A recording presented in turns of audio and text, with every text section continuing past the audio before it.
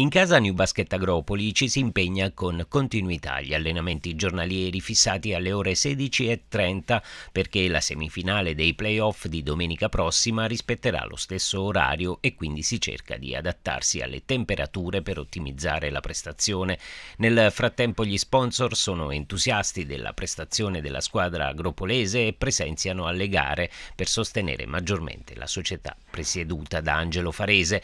Durante l'ultima partita abbiamo incontrato la dottoressa Rosetta Di Buono dell'Istituto Polidiagnostico Santa Chiara di Agropoli che ha dato un supporto importante e strategico nell'organizzazione sanitaria e non solo. La mia struttura è stata sempre vicina allo sport, soprattutto perché mi, ci piace e in particolare piace vedere i ragazzi che fanno sport, che si, che si dedicano a, a, a, fare gruppo, a fare amicizia, ad avere quei valori che sono importanti.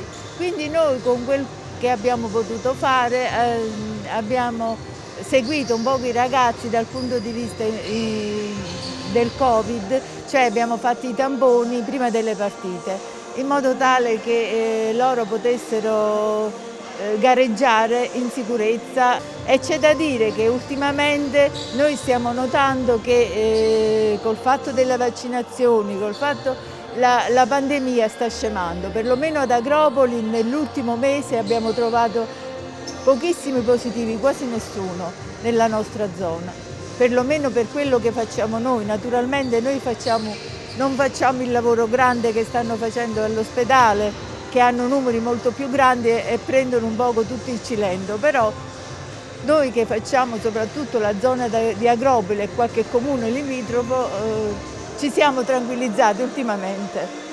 Ecco, io ne voglio pure approfittare, dottoressa, di pubblicizzare ancora di più la sua struttura perché davvero è all'avanguardia, non solo si mette a disposizione per gli sportivi agropolesi ma anche per tanti cittadini non solo cilentani. Allora, quali sono i servizi che offrite?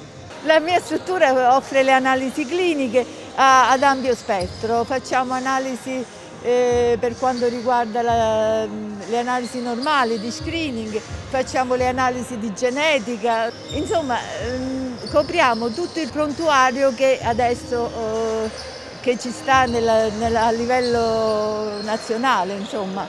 Eh, quindi seguiamo pazienti che vengono seguiti a Milano ai centri oncologici, pazienti che vengono eh, ematologici che vengono seguiti a Pagani e Vallo.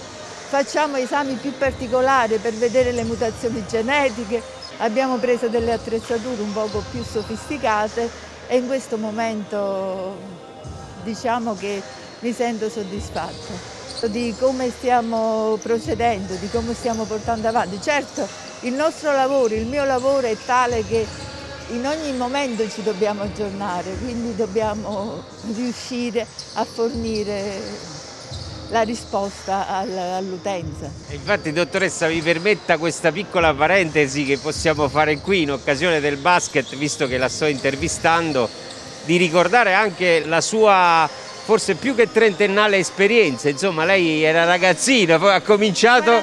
Quarantennale. Ecco, vedete, cioè 40 anni di, di, di, esperienza, di storia, è partita da zero, dal piccolo, dal basso, diciamo così, e oggi insomma è, è una ricchezza per il territorio. No, eh, in effetti il, la mia storia è e che sono partita da, effettivamente e poi non le nascondo che per una donna è più difficile. È vero. per una donna è più difficile, però comunque eh, parte, faccio parte della, della Federlab. Stiamo cercando di fare un poliambulatorio, insomma stiamo cercando di fornire i servizi il più possibile. Dobbiamo vedere come, come si va avanti. Certo che la sanità adesso con Recovery Fund potremmo eh, attingere, può essere che ci danno la possibilità di poter fare qualcosa di più, di, di poter ampliare i servizi, di poter dare una risposta a coloro che, che ce la chiedono.